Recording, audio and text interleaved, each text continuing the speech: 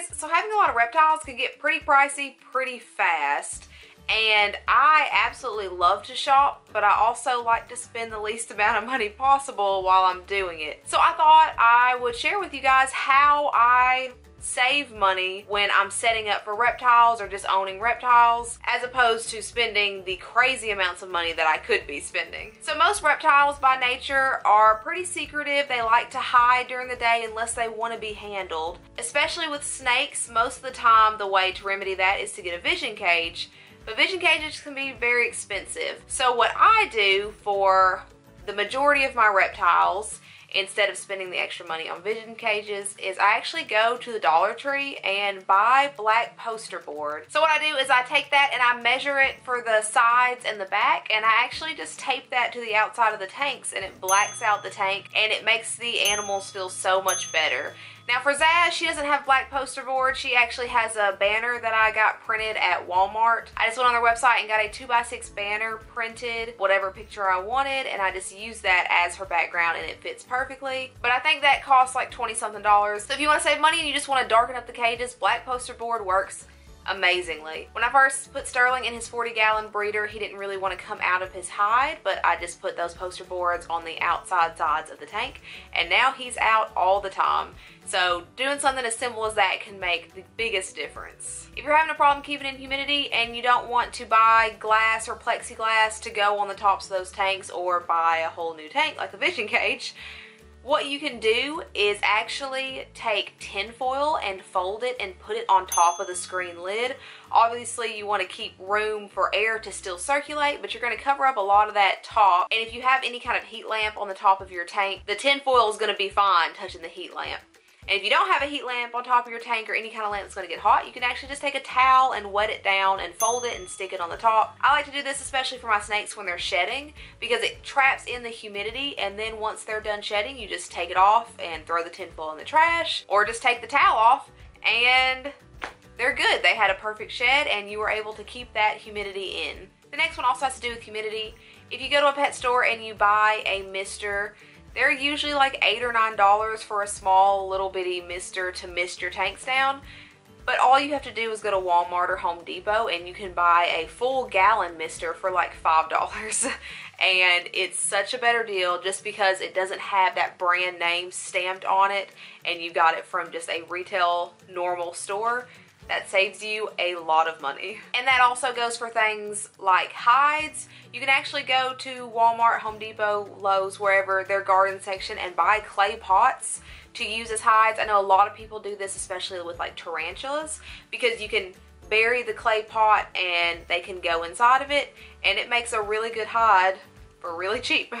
Speaking of hides and clay pots, I almost always buy decorations online. Amazon is my favorite, of course, I talk about it all the time, but anywhere online, usually the decorations are gonna be cheaper than going to Petco, PetSmart and buying them. And usually you can get really good deals too. I know when I got Percy's hide, I got it from Amazon and they actually had a deal going where it was an add-on item and I only spent $4.99 for it. Instead of getting that same hide at a retail chain pet store near me for $10, $15, I only spent $5. So always shop around online. I spend so much time shopping around online trying to get the best deals on things. And I definitely don't think that you should get animals from retail chain pet stores, but supplies, sometimes you kind of have to. Petco actually will compare their prices online to things that you buy in the store and their prices online are always cheaper than in the store. So for reference, I went and bought fish food yesterday and in the store it was $7.99 and online it was only $6.79. So just by showing them that it was cheaper on their website than it was in the store, you automatically save that money. So that's definitely something that you need to do. Anytime I go to Petco to buy anything supplies related like that, I always pull it on my phone and get the cheapest possible price. And still going with this buying online theme, buy your feeders online. Again, retail chain pet stores for crickets will charge 16 cent a cricket when you can go online and get them for so much cheaper. I always use joshsfrogs.com and I always talk about them because their prices are amazing, but you can get a thousand crickets on there for like $20.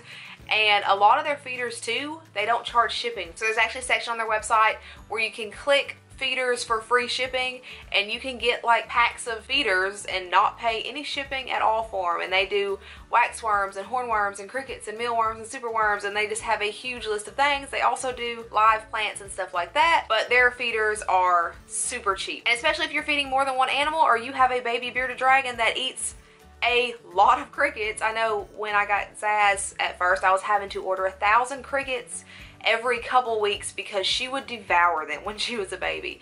So that saved so much money than trying to spend 16 cent per cricket at a pet store. Another thing is buying fish tanks when they're either on sale or buying them used on Craigslist. Craigslist has tanks all the time for so cheap. For my 55 gallon tank that I have my fish in, I paid $35 on Craigslist and there was absolutely nothing wrong with it. My 10 gallon Exo Terra that my Gargoyle Gecko's in, I think I ended up paying $10 for that online. I think it was on Craigslist or like Facebook Marketplace or something. And then I've never paid more than five, ten dollars for 20 gallon longs because I always get them from yard sales or on Craigslist. And my 40 gallon tanks actually came again from Petco. They do every now and then they'll do a dollar per gallon sale and you can get a 40 gallon tank for $40.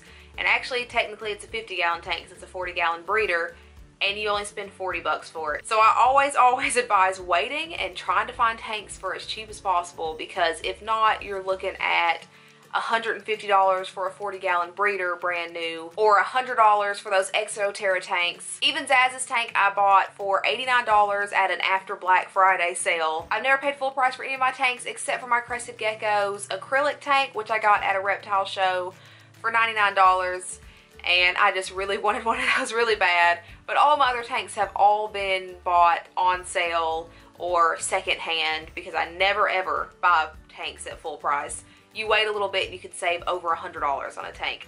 Don't buy pets from local big chain retail stores.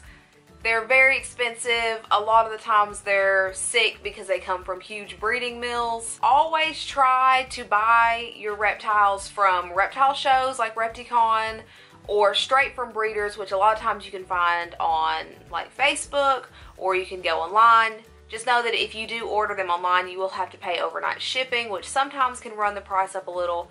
But most time it's still going to be cheaper than going to your local retail chain pet store and buying animals. For reference, a normal ball python at the store will usually be about 60 to $80.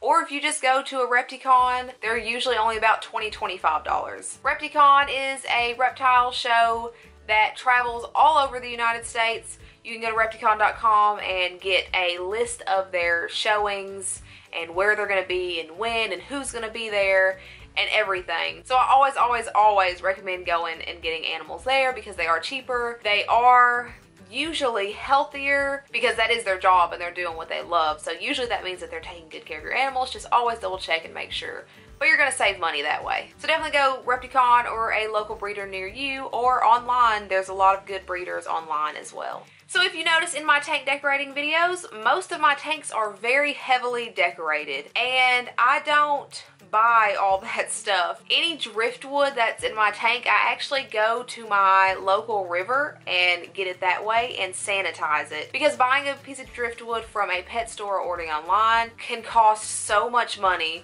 when all you have to do is go to your local river and get your own driftwood as long as you sanitize it and make sure to check state and local laws. I'm not telling you to go out and do anything illegal and steal driftwood or anything, but as long as it's okay, it's gonna save you so much money in the end. All you have to do is make sure that you properly sterilize it make sure that there's no parasites or anything from that river that's to get into your tank. And you can look up online how to do that. I usually bake mine in the oven.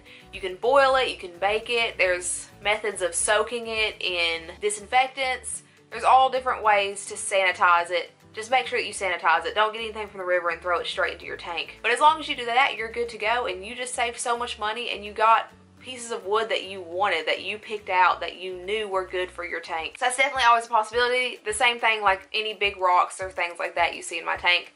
That's where I got them from. Just made sure they were sanitized and I'm always really happy with how they look in the end. I never throw things away. So if I am moving an animal to a bigger tank or just changing the tank, changing the decorations, I keep all those decorations in big totes and I keep tanks out in my shed.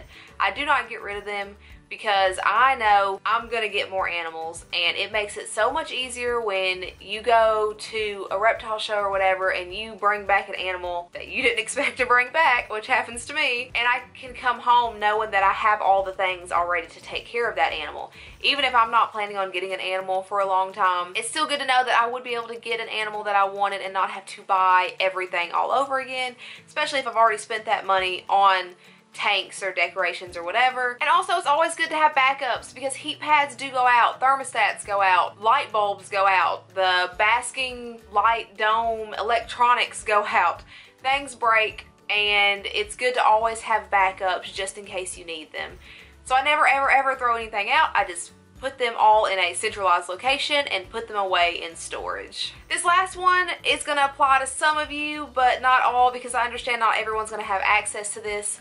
But if you can, build stuff yourself. I know that I get a lot of comments on Zsasz's house, her enclosure thing, and my husband actually just built that out of scrap wood that we had. And it saved us so much money for a hide that she could fit in because she is really large and finding a hide that she's going to be able to fit in and also get on top of to bask is kind of difficult. Also, Percy's background is made out of cork bark because buying a background for her online was going to cost $30, $40. I spent like $12 on building her background myself, which actually I took that idea from SerpaDesign, which is a really cool YouTube channel. He makes amazing enclosures for his animals and sometimes just enclosures to make them. But yeah, anything that you can build yourself or craft yourself is to make so much of a difference financial wise. Just make sure that the materials that you use, whether it be the wood or the cork board or the silicone, anything that you use, make sure that it's to be safe for your animal. And most of the time if you're using things like silicone or wood glue or things like that, you're want to make sure that you let it air out and set out because those fumes can be harmful for your animals. So just make sure everything's safe and you can save a lot of money building things, especially when you get into really big reptiles and enclosures for them. If you can build your own huge wooden enclosure for a monitor, that's going to save you so much money because wood isn't really that expensive. But yeah, guys, I think that's about all the tips that I have for saving money. Those are just the things that I do to save money because, like I said, I do not like spending large amounts of money on things that I know that I could get cheaper another way. So I hope that helped you out at least a little bit. That's all I can think of right now, but I'm pretty sure there's other things that I can do. If you guys can think of anything else, go ahead and leave it in the comment section below because I always love to save money. And if you like this video, don't forget to hit that subscribe button below. I put out new videos every single Sunday. And as always, I hope you have a fantastic day. Bye.